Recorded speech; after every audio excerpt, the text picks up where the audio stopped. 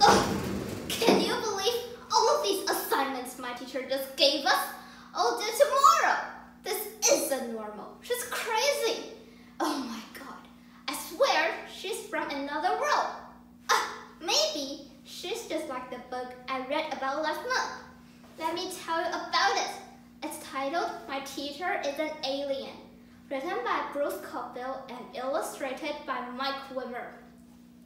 This book starts off with the normal happenings and everyday drama of your typical sixth grade students.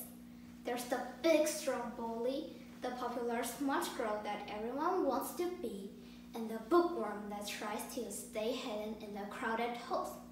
But everything changes in a blink of an eye.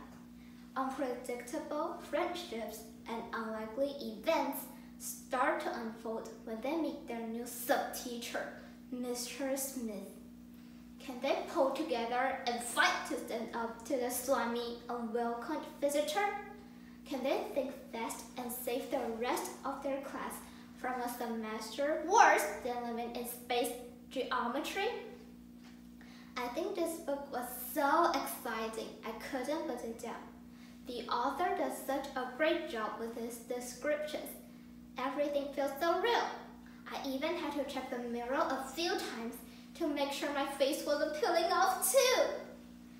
It's great that it's an easy book for intermediate level English readers around my age. The characters, as I mentioned, are very well defined and I believe the story idea is shared by many children around the world. Well, that's all the time I got left.